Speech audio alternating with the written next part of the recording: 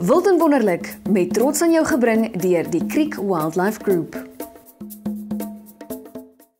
Dis tyd vir Wilden wonderlik.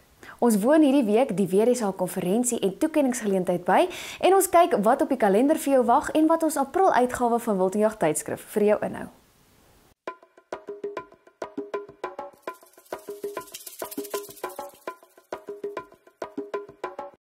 Wildlife Ranching South Africa hosts their annual conference and gala evening every year. This year, it was hosted at the CSIR Convention Center in Pretoria, and we were there to capture some of the highlights.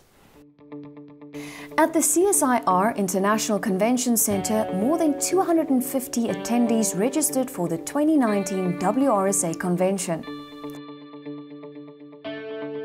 Tebogo Mohashwa, WRSA president, welcomed attendees whereafter speakers talked on subjects such as political and economic perspectives, land reform, land use management, biosecurity, and the perspective on the international hunting industry. At the gala dinner, glasses were raised for award winners such as Johan Sarfontein, who received the President's Award. WRSA Naboom Spruit Chamber as WRSA Chamber of the Year. The eight Game Rancher of the Year nominees. Green Economy winner Craig Geldenhuis. Biodiversity and Social Responsibility winners Tam Safaris. Game Breeder of the Year Dreyer van Sail Boerdery. As well as the Game Rancher of the Year Award. This rancher is a true role model to our whole wildlife industry, and it was a great pleasure visiting him and announcing him as the WRSA Game Rancher of the Year for 2018. None other than George Potgieter from Skoongesig.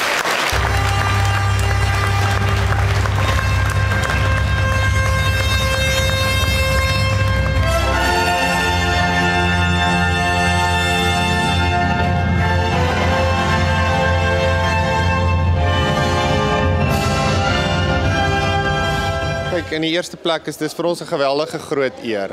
Jy weet, ek dink wat dit uh, besonders maak is die feit dat weet ons het die boerdery oor 'n paar jaar opgebou van 2001 af en dat op die stadium is die boerdery 100% selfstandig, jy weet. So ek hoop en ek glo dat ons ware ambassadeurs vir die bedryf sal wees deur ehm um, deur ons jagonderneming, maar ook deur ons teel van ons wild en dat ons ook sal dien as inspirasie vir ander mense wat in die bedryf betrokke is en wat ehm um, soos ons ook lief is vir die diere en die, en die buitelewe. Ek dink eerstens wil ek vir WRSA bedank vir die groot eer wat hulle vir ons gegee het om as ambassadeur vir 2019 vir hulle op te tree. Ehm um, tweedens wil ek graag my ouers bedank. Hulle is hier van die Kaap af en ek dink ook die invloed wat hulle gehad het in terme van die liefde wat hulle by ons gekweek het vir die natuur. Derdens uh, wil ek my skepper bedank vir die voorreg om te kan boer en ook om elke dag in die natuur en dit wat hy vir ons gegee het as rentmeesters te kan optree. Deel van ons sukses was nog altyd die mense met wie ons ons omring het, van ons plaaswerkers tot ons plaasbestuurders, ook ons vennote en verskeie ander aspekte. En ek dink ehm um, as dit nie vir 'n spanpoging was nie, sou ons nie vanaand hier kon staan nie. Laastens, maar nie die minste nie, wil ek graag my vrou bedank. Jeannie was deel van uh, my operasie net na 2001 en ehm um, hulle sê agter elke suksesvolle man is 'n meer suksesvolle vrou en ook in tye waar dit swaar gegaan het, veral in 2015, 2016 toe ons geweldige droogtes beleef het, dink ek kan 'n man maar so af en toe bietjie knorrig raak as dit nie so goed gaan op die plaas nie. En ehm um, ek het werklik 'n vrou wat deur daai moeilike tyd my emosioneel ondersteun het en sonder haar sou ek ook nie vanaand hier kon staan nie. Ja, ek moet sê as ons uh, as George hulle met die mense aankom, um, daar gaan baie voorbereiding in met so as die jagters kom veral vir oorseese kliënte en probeer ons nou maar die ekstra myl gaan. Maar ja, soos ek sê, daar gaan baie voorbereiding in. Um, dis vir ons baie lekker. Dis altyd 'n uitdaging. Ehm um, almal het daarom weet al presies wat van hulle verwag word en elkeen het presies sy taakies wat gedoen moet word. So ons is 'n goeie span en is 'n goed geoliede masjien en ons geniet dit eintlik baie. Dit is regtig lekker.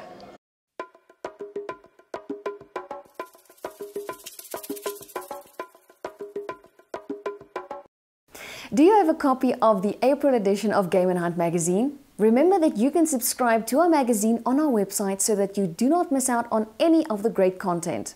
Here are some of the stories in the April edition. Our April edition is our big game hunting issue. Mohobo on the Hunt, My First Buffalo Charge by Ron Thompson on page 46, takes us back to 1960 when Ron was still a young game ranger.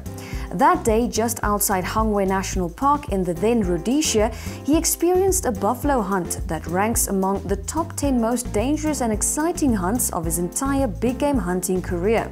Be sure not to miss the story. Life at Rangers is a new series by Christopher Palos who enrolled for a degree in game ranch management at the Nelson Mandela University's Rangers camp in the Eastern Cape earlier this year. On page 75, he writes that although it is still early days, he is proud of his decision and is looking forward to the adventure that lies ahead and to tell his story.